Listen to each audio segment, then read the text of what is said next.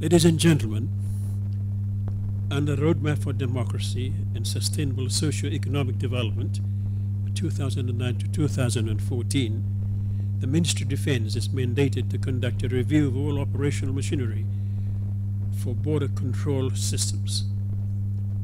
Paramount to this outcome is the improvement of border control systems to meet the evolving transnational techno-criminal activities in the world today.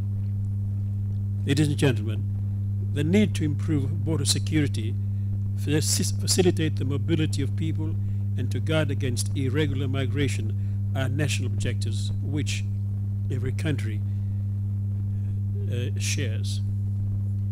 Fiji is no exception. The launching of this IBM server today is proof of the Fijian government's commitment to the fulfillment of this objective on a national level. is also a sign of the Fijian government's commitment to raising the bar and move towards international best practice in this area. Friends, the implementation of the IBMS was launched successfully approximately 12 months ago, as you've heard, here at Nadi International Airport. Within the last 12 months, there were further developments, new software created and aligned to have the system communicating to each other and more importantly the retrieving of data for analysis purposes which will then assist in decision making. The launching of the new servers will not only ensure that the system is up and running 24 hours a day, 7 days a week, but the data and information required is captured, stored and distributed on a timely basis. Given the modern challenges posed by migration in the 21st century, the IBM has proven to be a more effective tool in capturing migration data. In order to make full and effective use of this te technological advancement, the installation and use of these servers are inevitable. Ladies and gentlemen, I have been made aware that the launching of the server, servers will also enhance the captured data to be saved and distributed effectively on a timely basis. I see this as an achievement to the continuous efforts by the Border Control Agency agencies in strengthening cooperation. I would like to and congratulate the Department of Immigration, FRCA, and other border control agencies for their strong commitment to achieving government's agenda enhancing Fiji's border management system. It is crucial, therefore, that the launching of the IBM servers is not done in isolation by the Department of Immigration, and I note with much appreciation the presence of other stakeholders who, continue, who continued contribution.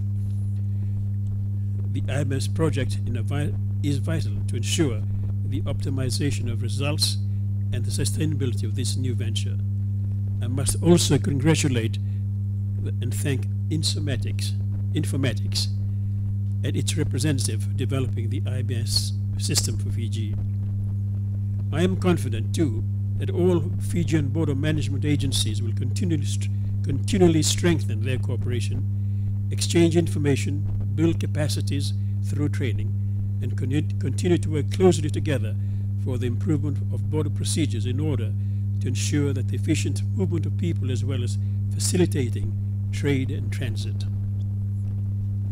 Ladies and gentlemen, as you are all aware, IBM is a computer software system.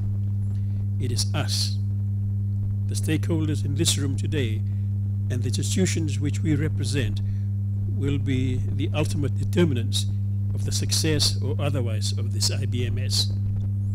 The data which you will be able to collect from the new system will open up numerous opportunities for improving policies, rules and procedures for border management, both nationally and regionally.